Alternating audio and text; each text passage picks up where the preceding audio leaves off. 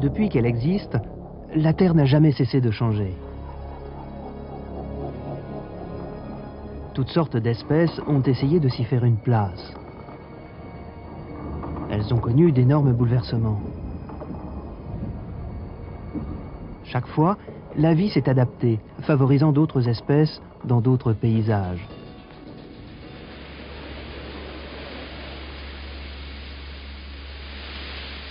Aujourd'hui, l'homme modèle la surface de la Terre selon ses besoins. Ces transformations risquent de modifier les climats et les paysages. Elles menacent les terres cultivables et les zones de pêche, l'horizon des villes et des campagnes. Notre espèce a très bien réussi son implantation. Ne doit-elle pas modérer ses interventions?